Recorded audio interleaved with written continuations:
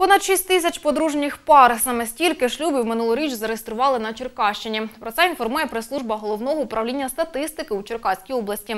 Минулоріч, порівняно із 2017 роком, органами державної реєстрації серед областян зареєстровано майже на 11% менше шлюбів. Інформують, у 2018-му містянки виходили заміж утричі частіше наречених із сільської місцевості.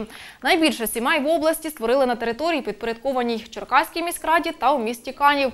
Найменше за інших реєстрували шлюб на Канівщині. Минулоріч найактивнішими нареченими були дівчата віком від 20 до 24 років. Чоловіки здебільшого одружувалися у віці 25-29 років. Серед тих, хто ніколи не перебував у шлюбі, одружився вперше у 2018-му майже 70% чоловіків і понад 67% жінок. Із іноземними громадянами одружилося майже 5% черкащанок та трохи більше відсотка областян чоловічої статі.